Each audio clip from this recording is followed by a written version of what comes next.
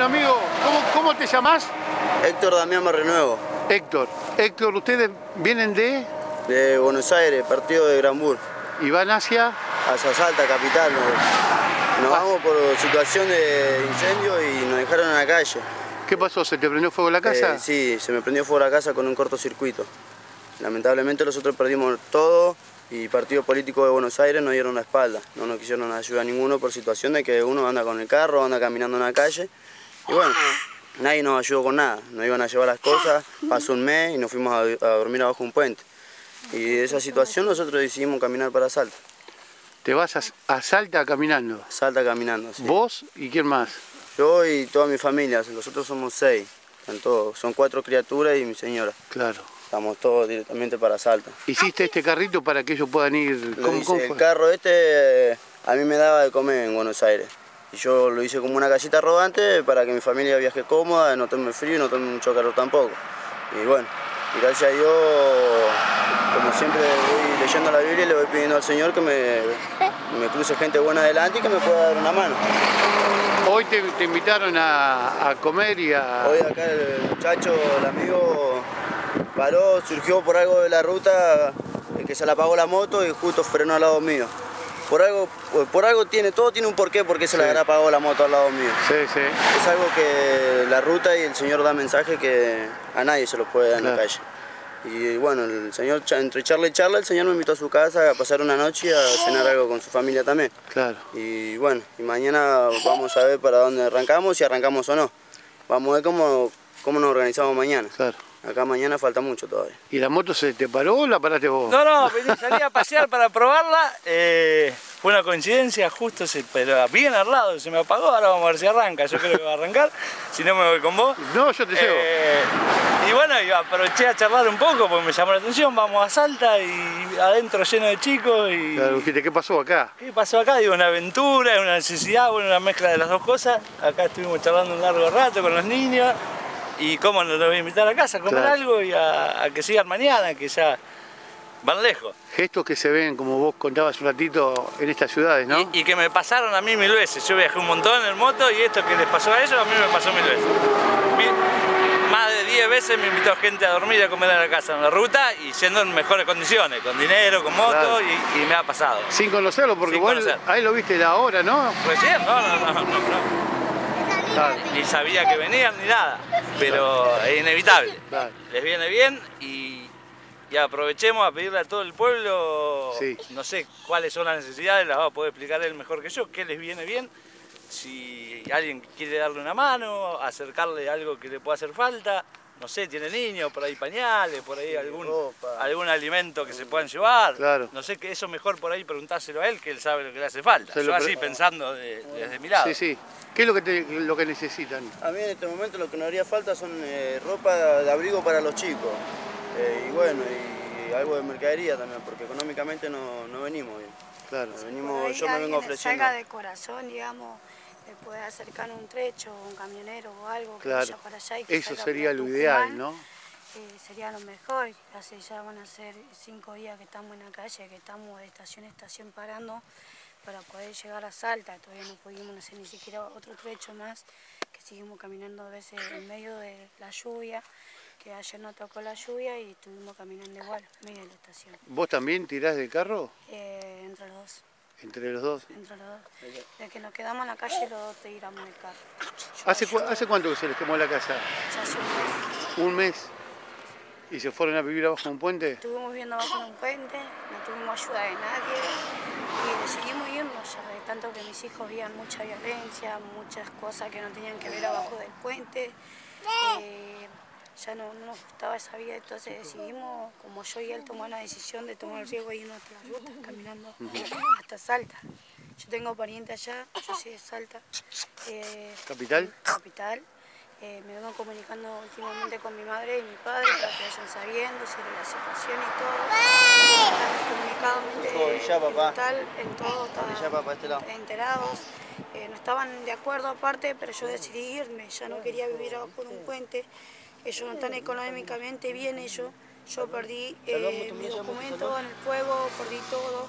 Miren las documentaciones de los nenes que pudimos salvar, las documentaciones que están quemadas, sin mentirles. Eh, les voy a hacer mostrar cómo están quemados los documentos, que Claro, mirá cómo incendio. quedaron todos. Esto es lo que quedó del incendio.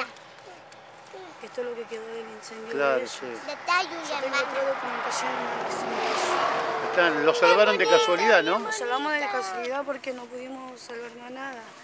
Eh, personas que puedan hacerlo de corazón, le agradecería mucho. ¿Y los chicos qué, qué edad tienen para aquellos que quieran colaborar con Eh, algo? Manuel tiene 10 años, eh, está llegando Emanuel. ¿Cómo, cómo, perdón, pasó? Emanuel eh, tiene 10 años y está 12. 12. Zapatilla 37. Sí. Eh, tengo un bebé de un año y cinco meses, que digamos ya para dos años, él, él calza 23. Tengo a la nena de tres años que está durmiendo ahí, en el carro. Eh, ella eh, talle 4 de ropa y zapatilla 24. 24 25. Y ella talle 27 y 28 de zapatilla y bueno, y talle de ropa 6. Lo único que pedimos más colaboración para los chicos. Para mí y para mi marido no nos importa. Y algo para comer también, ¿no? Y algo para comer y algo de mercadería nos serviría bien, la verdad. Eh, de ya estaríamos re agradecidos y Dios lo va a multiplicar. ¿Cómo se llama el chico más grande? Emanuel. Emanuel. Le quiero preguntar, porque vos me dijiste que soy hincha de River, Emanuel, ¿no? No, yo soy hincha de boca. Hincha de boca, qué la. ¿Fuiste a la cancha? Sí, ¿Te gustó? sí. Qué grande. Me llevaron a la cancha de boca. ¿Qué partido? ¿Te acordás contra quién jugaron? No, no me acuerdo. ¿No te acordás? No. Bueno, qué grande, Manuel. ¿eh? Y eh, hay que hacer un esfuerzo muy grande porque uno por ahí solo es una cosa, pero cuando está con la familia es distinto, ¿no? Sí, la situación cambia mucho cuando va con la familia. Uno solo en la ruta se puede manejar de cualquier manera. Sí. Si come o no come, estando solo le da lo mismo. Acá hay chicos de por medio, las criaturas necesitan comer todos los días. Claro. Como yo siempre dije, los chicos necesitan comer. Uno que es grande con una taza de mate cocido, un mate se conforma. Los chicos comen todos los días. Eh, yo, gracias a Dios, eh, que salimos estos cinco días que estamos en la calle, no le hago falta nada. Ellos están comiendo de 10. Yo salgo, yo no tengo vergüenza, a mí me daría vergüenza robar, que es al Claro. contrario. Yo salgo, voy a decir la verdad, explico mi situación, cómo estoy, qué es lo que estoy pasando en el momento. Y bueno, de ahí en más yo lo dejo en la mano de Dios y la gente me quiere ayudar. Yo no voy a robar, yo no voy a hacerle daño a la gente. Nada más yo le voy a pedir un pedazo de pan, un plato de comida que le dé a mi familia. Yo no le pido nada, más nada, yo no le voy a pedir plata. Yo lo único que quiero es que a mi familia no le falte un plato de Claro. comida, jamás. ¿Y paran ustedes cuando llegan a alguna ciudad o te ha tocado parar en el medio de la nada? Tratamos siempre de parar en las estaciones de servicio, donde hay mucho movimiento de gente, donde hay más seguridad, por los chicos. Yo voy con la seguridad la comodidad para los chicos, donde haya eh, estaciones de servicio que tengan ducha para poder bañar a los chicos, para, ma- para mantener la higiene de uno. Claro. No- somos eh, pobres pero limpios, como siempre dice uno. Eh, yo siempre busco, si no llego, no llego, busco en alguna casa que me pueda brindar un pedacito de patio para pasar una noche y al otro día yo me voy temprano. Claro. Yo a las 6 de la mañana ya salgo nuevo a la ruta. Todos los días hago, hago lo mismo. No hay un día que no salga temprano. Yo no le pido nada a nadie. Yo trato de, de economizarme yo solo. Pero siempre hay gente que te ayuda. Uno cuando no pide siempre te lo ayuda. Y yo estaría re agradecido también que siempre, como digo, hay gente buena en Argentina que, que ayuda. Así como en este momento yo necesito llegar a Salta. Eh, no quiero llevar a mi familia tampoco así porque no, a veces me da miedo la ruta porque pasan muchos camiones, llevo a mi familia y no me gustaría que pase nada mal. Claro. Jamás pienso en eso, yo pienso positivo. ¿No, hijo? Sí, sí. ¿Tenemos, hijo? Ya. Viste, los chicos son traviesos a veces, ¿no? Sí, él es travieso y no se, ellos no se pueden quedar quietos. Yo como siempre... Las criaturas son las criaturas, ellos no tienen la culpa de nada. No, por supuesto. Ellos no tienen la culpa de nada. Acá la culpa de los grandes y, y como digo, a mí se me quemó, a mí cuando se me quemó la casa todos decían no, porque, porque vos sos esto, porque vos sos aquello, que vos dejás la casa sola. Yo estaba en la casa cuando se me quemó la casa. Yo estaba en mi casa. Yo estaba limpiando el patio cuando empezó a hacer chispa adentro. Es un cortocircuito y cuando entré ya no podía salvar más nada. Ya lo único que pude sacar los chicos y nada más. Claro, que es lo más importante, ¿no? El terreno era prestado. Sí, lo más importante era los chicos. Yo no me, lo material no me, no me interesaba. Claro. Yo saqué los chicos y ya no pude hacer más nada. Cuando quise volver más de nuevo en el terreno prestado, la dueña me dijo que lo devuelva.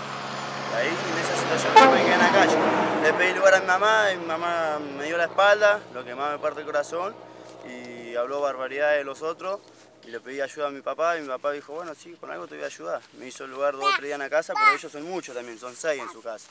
No tenían lugar. Buscamos alquiler, nadie me quería aceptar con los chicos, nadie me quería aceptar con los chicos. Yo en el momento decidí, no puedo estar así dando vueltas. me voy, a, me voy abajo el puente. Otra solución no me queda. Busqué una carpa, iba a parar en las plazas, la policía me sacaba porque era una plaza pública, yo no podía estar ahí, que sos un vago, ¿por qué no te vas a vivir a una casa? Todos me trataban de vago y de, y de cartonero, yo le explicaba, pero uno porque tiene plata, porque anda bien, le digo, ¿por qué tiene que, por qué tiene que discriminar a la gente que, que anda trabajando con el cartón? Le digo, no tiene que ser así. le. ¿Vos Todo- juntabas cartón? Yo juntaba cartón, chapa, todo lo que sea del reciclado. Y yo lo vendía para darle comer a mi familia, para que a mi familia no le falte un plato de comida jamás. Claro. Yo siempre hice lo mismo, yo siempre trabajé de esto y prácticamente toda mi vida fue, hice esto. Lo ideal sería, me parece a mí, que algún camionero vaya para, para- Lo ideal sería que te dejen en casa de la capital, que es muy difícil que se dé, ¿no? Sí, sí. Pero por lo menos que te arrime un poquito, Que ¿no? me arrime, sí, yo lo que pediría a algún camionero que vaya para el lado de Santiago, como muchos van a buscar carbón, que me acerque hasta Santiago. Y de ahí ya veo, si puede, se puede hasta Tucumán, Tucumán, cualquier cosa, pero alguno que me pueda acercar, a mí, a mi familia, con el carro que yo estoy llevando en este momento. Conseguir pasajes, ¿no? Podría ser, podría ser una opción, pero habría que pensarla, porque el carro es mi máquina de trabajo. Claro. Es- esa es una opción que habría que pensarla muy bien, porque el carro es mi máquina de trabajo. A lo mejor por ahí tu señora con los chicos, para que no sufran tanto, se podrían... Sí, tendría que charlarlo con ella y seguramente sí.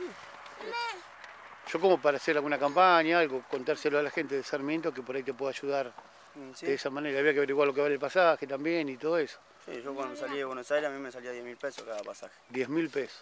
Bueno, no debe salir mucho menos, Sí, debe salir mucho menos de acá. claro. Cuando salí yo averigüé y no, ni así, ni trabajando tampoco. Iba a tardar más estando en la calle juntando plata que, que salir en la ruta. ¿Ya siguen caminando nomás? Y sí, ahora vamos a seguir caminando a la casa del muchacho, vamos, a- vamos hasta Capitán Sarmiento y bueno, ahí nos encontraremos con el compañero acá en la estación de servicio. Y ahí nos ubicamos después en su casa y bueno, a descansar. A descansar porque mañana se sigue, ¿no? Mañana es un largo día de nuevo. Mm. Mañana nunca bajo los brazos, así que mañana a la mañana le pido al Señor y arranco mi derrotamiento. Amigo, muchas gracias, ¿eh? Gracias a ustedes por parar en este momento que cuando venía transpirando y pensaba que nadie iba a parar a, a saludar o a charlar, eh, siempre aparece, siempre baja el ángel del cielo, como siempre dice. uno. Siempre aparece alguien, ¿no? Siempre aparece alguien para sacar, este- para sacar una expresión y desahogarse un poco, como muchos dicen, ¿no? Siempre, siempre está bueno charlar con otra persona que uno, que uno no conozca, porque se hacen amistades nuevas y Claro. es distinta la, la amistad que tiene uno del lado de afuera con, con otro lado. Por eso dije, siempre hay un, ángel tras mío que siempre me cuida y está conmigo. Te agradezco mucho. No, gracias a ustedes. Gracias. Gracias.